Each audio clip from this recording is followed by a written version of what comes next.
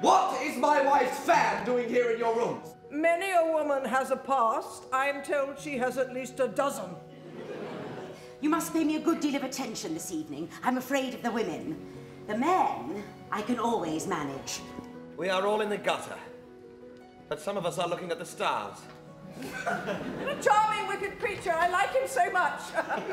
Delighted he's gone. It's a useful thing, a fan, isn't it? I regret my bad actions. You regret your good ones. That is the difference between us. I don't know what society is coming to. Most dreadful people seem to go everywhere.